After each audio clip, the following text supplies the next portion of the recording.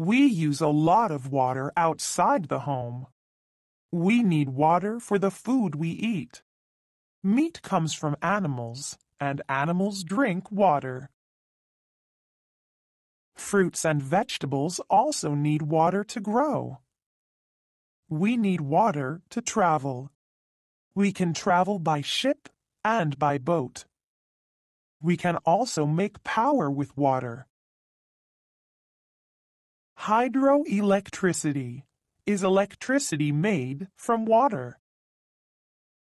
We have fun with water.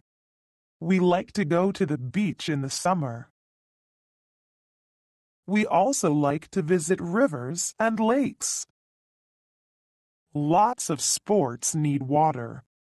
Sailing, surfing, swimming, water skiing, and diving all use water. Which water sports do you like?